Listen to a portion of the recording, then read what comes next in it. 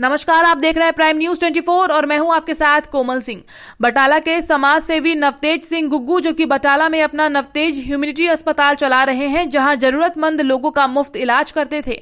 उनके इसी अस्पताल में कुछ दिन पहले पुलिस इंक्वायरी के तौर पर एक लुटेरे की पूछताछ के लिए पहुँची थी, क्योंकि वह लुटेरा अपनी टूटी टांग का इलाज करवाने पहुँचा था, जिसकी इमरजेंसी इलाज कर नवतेज के द्वारा हायर सेंटर रेफर कर दिया गया था। उसी की इंक्वायरी करने पुलिस नवतेज अस्पताल में पहुँची थी। वहीं इस सारी कार्रवाई की वीडियो सोशल मीडिया पर नवतेज गुग्गू के तरफ़ से अपने सोशल मीडिया के पेज पर वायरल कर दी, जिसके चलते उस वीडियो के आधार पर पुलिस ने नवतेज गुग्गू पर पुलिस जाँच में विघ्न डालने और पुलिस के साथ धक्का मुक्की करने का केस दर्ज कर दिया था और उसको गिरफ़्तार किया गया था। उसी के चलते आज मानयोग अदालत की तरफ़ से गुग्गू को जुडिशियल हिरासत में भेज दिया गया है, जिसको लेकर बटाला में गुग्गू के हक में उतरी समाज सेवी संस्थाओं और धार्मिक संस्थाओं की तरफ़ से बटाला पुलिस प्रशासन के खिलाफ और नवतेज गुग्गू के हक में अमृतसर पठानकोट सड़क को जाम कर रोष प्रदर्शन शुरू कर दिया।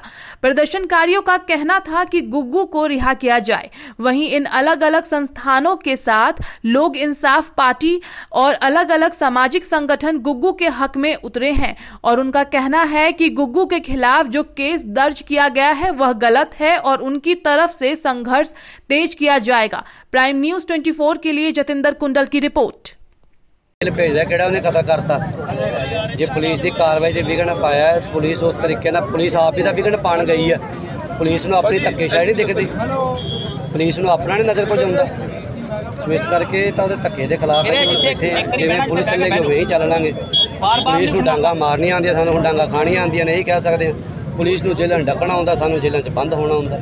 ਹੁਣ ਅਸੀਂ ਹੋਰ ਕੀ ਜੇ ਇਹਨਾਂ ਤੇ ਹੁਣ ਤਾਂ ਗੋਲੀਆਂ ਚਲਾ ਨਹੀਂ ਸਕਦੇ। ਸਾਡੇ ਕੋਲ ਤਾਂ ਇਹੀ ਹੱਕ ਹੈ ਵੀ ਧਰਨਾ ਲਾ ਲਈਏ ਮੋਰਚਾ ਪੈ ਲਈਏ ਇੱਥੇ ਬਹਿ ਜਾਈਏ।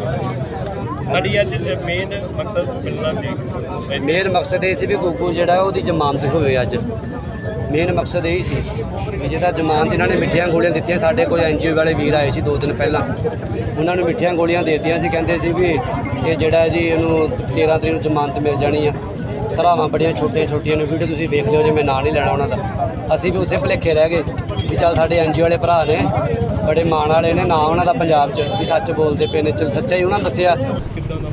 ਬਿਲਕੁਲ ਲੋਕਵਾਜ ਬਣੇਗੀ ਜੀ। ਜਦੋਂ ਕਿਸੇ ਨਾਲ ਗਰੀਬ ਨਾਲ ਧੱਕਾ ਹੋਊਗਾ, ਸਾਰੀ ਜਨਤਾ ਨਾਲ ਧੱਕਾ ਇੱਕ ਹਿਸਾਬ ਨਾਲ। ਕਿਉਂਕਿ ਸਾਰੀ ਜਨਤਾ ਦੇ ਇਲਾਜ ਫ੍ਰੀ ਕਿਹੜਾ ਹਸਪੀਟਲ ਹੈ ਵੀਰ ਜੀ? ਮੈਨੂੰ ਦੱਸ ਦਿਓ ਚਾਵਲਾ ਜੀ। ਇਹ ਕਿਹੜਾ ਹਸਪੀਟਲ ਪੰਜਾਬ ਦੇ ਵਿੱਚ ਜਾਂ ਜ਼ਿਲ੍ਹੇ 'ਚ ਜਾਂ ਕਿਸੇ ਦੇਸ਼ 'ਚ ਕਿਹੜਾ ਜਿਹੜਾ ਫ੍ਰੀ ਇਲਾਜ ਕਰਦਾ? 50 ਲੱਖ ਵੀ ਕਿਸੇ ਦਾ ਇਲਾਜ ਤੇ ਲੱਗਦਾ ਫ੍ਰੀ ਕਰਦਾ। ਆਪਣੀ ਮਰਜ਼ੀ ਨਾਲ ਕੋਈ 10000 ਦੇ ਜੇ 15000 ਦੇ ਦੇ, ਇੱਕ ਗੋਲਕ ਵਾਲਾ ਹਿਸਾਬ ਹੈ ਐਸਾ ਕੋਈ ਹਸਪੀਟਲ ਮੈਂ ਨਹੀਂ ਵੇਖਿਆ। ਸ਼੍ਰੀ ਗੁਰੂ ਰਾਮਦਾਸ ਹਸਪੀਟਲ ਦਾ ਬੜਾ ਚਰਚਾ 'ਚ ਹੈ ਕਿ ਉੱਥੇ ਬੜਾ ਵਧੀਆ ਇਲਾਜ ਹੁੰਦਾ। ਤੁਸੀਂ ਕਿਸੇ ਆਪਣੇ ਵੀਰ ਨੂੰ ਭੇਜ ਕੇ ਵੇਖ ਲਓ।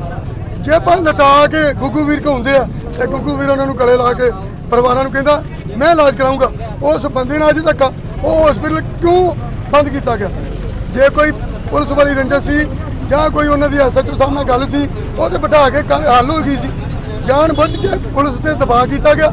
ਸਾਡੇ ਐਸਐਸਪੀ ਸਾਹਿਬ ਦੇ ਐਸਐਚਓ ਸਾਹਿਬ ਦੇ ਮੋਢਿਆਂ ਤੇ ਭਾਰ ਪਾ ਕੇ ਇਹ ਸਰਕਾਰ ਨੇ ਜਾਣ ਕੇ ਪਰਚਾ ਦਵਾ ਕੇ ਉਹਨੂੰ ਅੰਦਰ ਕਰਾਇਆ। ਬਾਕੀ ਕੋਈ ਐਸੀ ਐਸੀ ਗੱਲ ਨਹੀਂ ਸੀ ਹੈਗੀ। ਲੋਕ ਇਨਸਾਫ ਪਾਰਟੀ ਵੀ ਅੱਜ ਉਹਨਾਂ ਦਾ ਜਿਹੜਾ ਹੋਰ ਵੀ ਜਨਰਲ ਹੋਈ ਕਿਵੇਂ ਸੰਘਰਸ਼ ਚੱਲੂਗਾ ਲੋਕ ਇਨਸਾਫ ਪਾਰਟੀ ਦੇ ਬਣੀ ਲੋਕਾਂ ਦੇ ਇਨਸਾਫ ਵਾਸਤੇ ਸਾਡੇ ਸਰਦਾਰ ਸਿਮਰਜੀਤ ਸਿੰਘ ਬੈਂਸ ਸਾਡੇ ਬੱਬਰ ਸ਼ੇਰ, ਤੁਹਾਨੂੰ ਪਤਾ ਹਰ ਥਾਂ ਤੇ ਲੜਦੇ ਆ, ਜਿੱਥੇ ਹੱਕ ਸੱਚ ਦੀ ਗੱਲ ਨਾ ਹੁੰਦੀ ਹੋਏ। ਹੱਕ ਸੱਚ ਲੈਣ ਵਾਸਤੇ, ਪੰਜਾਬ ਦੇ ਹੱਕ ਲੈਣ ਵਾਸਤੇ, ਪੰਜਾਬ ਦੇ ਹਿੱਤਾਂ ਵਾਸਤੇ ਲੜਦੀ ਆਈ ਆ ਔਰ ਇਹ ਹਸਪੀਟਲ